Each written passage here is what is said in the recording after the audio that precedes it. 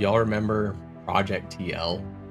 This Project TL, you know, the one that looked like a lineage version of Lost Ark and was announced all the way back in 2017. That Project TL? Well, we now have a name for this game, and it's gone through some more changes, it looks like. So this game, published by NCSoft, is going to be Throne and Liberty, and it's got some interesting quirks that'll potentially make it stand apart from other MMOs that are on the horizon. Throne and Liberty is an upcoming MMO for the PC and console coming out soon, sometime. Maybe we don't have a launch date. We don't have a launch estimate, but we do have a live blog announcement and trailer. So what is Throne of Liberty? Well, Throne of Liberty sounds like it's going to be the spiritual successor to Lineage 2, a game I played years ago but not to the near extent of other MMOs. Throne Liberty was announced in a dev blog on ncsoft.com. According to the blog, this game stemmed from Lineage, but it became its own IP about three years ago.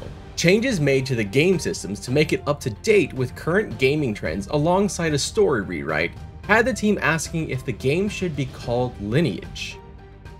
This is a good step, in my opinion. Two of my favorite games of all time, EverQuest and EverQuest 2, really couldn't be more different. They existed in the same world, but they could have been completely different IPs.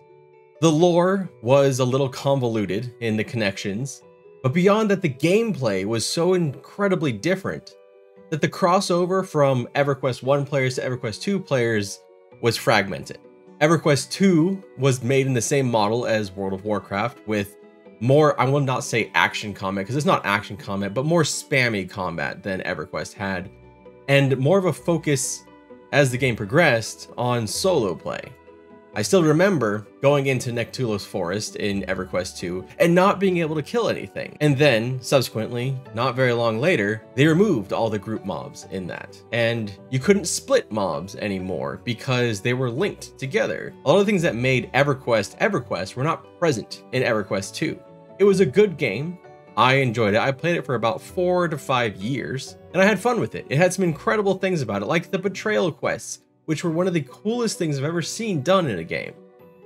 But it was still a very different game from its original predecessor. And in this case, it looks like Project TL is going potentially the way that EverQuest 2 might have needed to go. Its own IP, its own brand. So we'll but we'll have to see how this works out because I know there's a lot of people that were excited for a Lineage 3. But this begs the question of whether an MMO should ever have a sequel, especially long-running MMOs that have sometimes convoluted lore through multiple expansions. But that's a question for another video. This video we're talking about Project TL, Throne and Liberty, and what we have, what information we have so far. So let's get into that. When asked what makes Throne and Liberty different from the original IP, they answered that it was what PC and console-based MMO games should represent. I want to highlight this part specifically because with NCSoft and honestly a lot of developers, mobile has taken a bigger market share in recent years because it's been so damn profitable. Hearing those words, PC and console, is heartening. They went on to talk about how they wanted to avoid monotonous play, which may be music to some people's ears, or perhaps a bit of a disappointment to anyone who enjoyed the grind in Lineage 2. Specific examples they gave were about how players might encounter new mobs over time, how the wind direction may change the flow of battle, and how weather can impact geographical features. This sounds like immersive gameplay to me, and if it's done well and not gimmicky, I'm excited to see how they approach it. In the blog, this was referred to as three factors interacting. The field environment and the player, all interacting and affecting one another.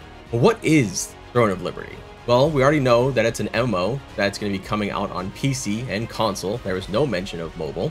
But there is something else in the blog about what the major content of the game is going to be. Specifically, the worldview needs to be solid and robust so the team has worked diligently on storytelling. What was interesting here to me is they mentioned that they looked at tools and technique used in console and adventure games. More and more I've been seeing what I'd call set pieces in MMOs, and it's something I'm loving seeing, honestly. It adds a different dynamic to the games. Little cinematics or timed events. This could be as simple as the chase scene in Wrath of the Lich King, where Arthas chases you down to your eventual rescue, or as in-depth as the boss fight in Lost Ark's King's Tomb. MMO lore is very important to me, and it's probably a large part of why New World failed to grab me. I actually really enjoyed New World's combat, but the world felt hollow. It sounds like with Project TL, or Throne and Liberty, they're putting that story and world as one of the first major pillars of the game. The second part of the major content for this game is challenge. And coming from NCSoft, what they were saying here was very exciting to me. They mentioned that historically they have focused on competition between players, but in Project TL they wanted to add challenge for players to work together to overcome challenges like boss fight. They state that players can overcome the challenge only when working together with other players grasping the characteristics and skills of each boss and fully utilizing their abilities. Yes, thank you. As a as a longtime MMO player who fell in love with these social driven challenges of overcoming obstacles with other players and working towards common goals in games like EverQuest, EverQuest 2, World of Warcraft, Final Fantasy XIV, etc., etc. This is so fitting for the genre in my opinion. This is what I think brings has created some of the best memories for me. Now don't get me wrong, I adore PvP. I what some of my I really enjoyed for me personally going into battlegrounds in World of Warcraft. Really the only thing I, I miss currently but World of Warcraft is battlegrounds and arena. But the friendships I made were not made on a PvP battleground. When I was being, you know, when people were, were telling me, you know, what they um plan to do with my you know, and and then and how they were gonna and then and then and then and you know that wasn't friendship building for me but when raiding or grouping with other players when working towards common goals with other players that is where I made deep connections, connections with friendships that I continue to this day. That always made me feel part of something special. And to many of you watching, I feel you probably feel the same way. The interview circled back to immersion, and coming off my video on the HDRP Part 2 in Pantheon, which you can find in the card above, this felt very fitting. They were keen to explain that things like weather and day and night cycles will impact you. For example, they talked about how the strength of the wind could affect archery at the shooting range, or that if you practice lightning type magic when it rains, it affects a wider range of enemies. It's not just this impact though. If you're in the middle of a siege, you may under normal circumstances be able to access it through the sewers. But if it rains too heavily, those passages could be blocked by water. There's interactivity as well. As a player, you can cause a solar eclipse or a rainstorm. Now, I don't know if this is something that will be implemented, but these last two pieces put together, imagine being able to bring about a rainstorm during a siege to protect your city. This just sounds badass to me. I like this a lot, the interactivity.